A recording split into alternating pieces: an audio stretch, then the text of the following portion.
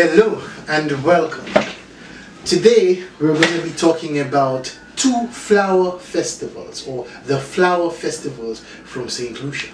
I'm very excited about this series of videos that we're going to be doing today because they're a little bit longer than the regular videos because this is such a historic and monumental um, uh, how would I call it? Uh, societies and festivals which are only found in the island of St. Lucia and nowhere else. So I am very excited about them. They're called the La Rose and the La Marguerite. La Rose for the rose and La Marguerite for the daisy or the marguerite flower. So let's have a look at this. La Rose and La Marguerite, the unique flower festivals of St. Lucia. When I started off this series, my idea was to look at unique things from the Creole culture of St. Lucia, this tiny island between the islands of St. Vincent and Martinique and near Barbados in the Caribbean Sea and the Atlantic, bordering the Atlantic Ocean as well on one side. And uh, I'm going to use those ideas coming out of this Creole culture and trying to understand their origins and why and how they came about. So we're dealing with the La Rose and the La Marguerite today. Flower festivals of St. Lucia. Most likely they started off as secret societies during the Enlightenment period, associated with Europe's philosophers or the philosophical thought, people like Kant, Voltaire, um, Jean-Jacques Rousseau, um, Hume, Hobbes, and so forth, Reid, Montesquieu, and so many more that can be named. But you can look at the age of enlightenment and the philosophers associated with this. So, the societies, or the in Creole called the Société of St. Lucia of La Rose and La Marguerite are two very historic associations. La Rose for the rose, La Marguerite for the marguerite flower from the daisy family. The names La Rose and La Marguerite are from the local Creole language, or what we say Creole. Each society holds a yearly festival, La Rose for the Rose on August 30th and La Marguerite for the Marguerite celebrated the festival on October the 17th every year. This flower festival is specifically unique, like I said, to the island of St. Lucia. Preparation for the yearly festival begins several months before the actual feast day. Each group holds what is known as seances. Now, you may be familiar with the word seances, so uh, you can also look it up and get a background of the type of idea. But in this case, the seances consist of all night singing and dancing sessions where drinks are sold and games are played. And these are done to raise funds for the big day celebration, which is called the Grand Fete. So before the celebration days of La Rose and Marguerite, they hold seances to raise money. Both societies have a formal hierarchical structure which reflects the socio-economical structure of colonial society. The society during the Enlightenment period, most likely. Each society has a king, a queen, as well as princes and princesses, and many other symbolic legal, military, and professional roles, such as judges, policemen, nurses, soldiers, and doctors. On the actual day of the festival, all members of the society dressed in the finery of their colors, blue and red, blue for La Marguerite, red for La Rose, and they parade to the church for a service, then parade through the streets returning back home after the church service for the feasting at the Grand Fete, or what is a grand hall. Now, growing up, my aunt used to have a grand hall, and my mom used to be a nurse in the La Rose group. So the Flower Society depicts an intense rivalry, sometimes between communities. Probably the community of Micoud or Mon Repos would be one group, and then there would be another group from Choiseul, St. Lucia. We know that the St. Lucian Society has split in affiliation, like I said, from one group, so we will expand on this rivalry and try and figure out why possibly rivalry came about.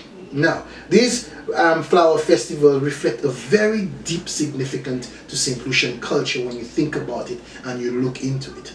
And the peoples and the history being associated with this flower festival, which has lasted up to a day like today, and most likely starting off from the uh, secret society during the Enlightenment period, is quite interesting. So, because of the nature, most of the they being secretive society, it is much is not really known about them, right? So, we're going to be digging into it and trying to figure out what meanings could have could these things have and what could have prompted them to start off and why. So one idea is that the societies originated in the time of slavery as cooperative work groups created for mutual support and assistance in time of trouble. These groups were similar to the Dokpwe of the Dahomies out of Africa and the Kumbete of Haiti. They also had a great deal in common with the famed Egbes of the Yoruba people. So we're looking at an African slant of societies and groups and these were ideas from an African perspective. But one can also say that the two societies were partly inspired by two mystic orders, Rosicrucianism and Freemasonry. Now, these were active at the time of the philosophers in Europe. Like I said, Voltaire, Immanuel Kant, Freemasonry and, and Rosicrucianism, an order of the rose, was quite active during the Enlightenment period for people having secret societies to discuss ideas which would probably have gotten their head cut off or was not mainstream at the time or was against the church or against ruling monarchies. So these connections are depicted, um, for example, by uh, somebody known, uh, very famous artist, Dunstan St. Omer of St. Lucia, where he depicts the Holy Trinity to express the flower festivals in a painting. And in that painting, he puts Osiris, Horus, and Isis, right, as uh, the Trinity. So the original, he didn't go with the church Trinity, but he used the pharaonic idea of the Trinity of the Mother, the Father, and the Son. Check it out. They also know that there are saints associated with the celebrations. There's a saint for Saint Marguerite and a saint association with the um, Saint Rose. So these are the saints associated with the two flower festival. The saint for La Rose is Saint Rosa of Lima, Spanish Santa Rosa de Lima, original name Isabel Flores de Oliva, born in Lima, Peru the first person born in the Western Hemisphere to be canonized by the Roman Catholic Church. She is the patron saint of Peru and all of South America, the Indies and the Philippines. It is also noticeable that the Rose Society wears red colors of the rose, right? Like the rose, which is also the color of the English Red Coat Soldiers, the Red Cross on the English flag. So it could be that the societies at the time was supporting monarchy or somebody who was um, trying to get the throne from the sitting king, or they could be supporting the ideas of the Roman Catholic Church, or possibly Anglicanism and probably Protestantism, and not or not. But there were many ideas during the philosophical time, even moving away from the ancient regime or the rule of monarchy into republicanism, that those ideas being circulated, which were very dangerous to discuss out in open, so you could see the rise of secret societies. So for the saint for the La Marguerite is Saint Margaret Mary Alacoque. And uh, she was a French Catholic visitation nun and mystic who promoted devotion to the Sacred Heart of Jesus in its modern form. The celebration of the Feast of the Sacred Heart act of consecration and the act of reparation are associated to St. Margaret Mary Alacoque. The Detente Bala amulet used by the Spanish soldiers is based and derived from the Alacoque emblem. The Marguerite Festival patrons, like patrons, like I said, the like Marguerite Festival patrons wear blue and the color of the French blue coats, for example. The French blue coat guards or the elite infantry regiment of the French Royal Army used to wear blue or they still wear blue. The depiction of it now, right? Now, during that time, they formed a constituent part of the military household of the King of France under the ancient regime. The, the royalty, they were the guards for the royalty. We spoke about the ancient regime in a video called Orleans and also one about Choiseul.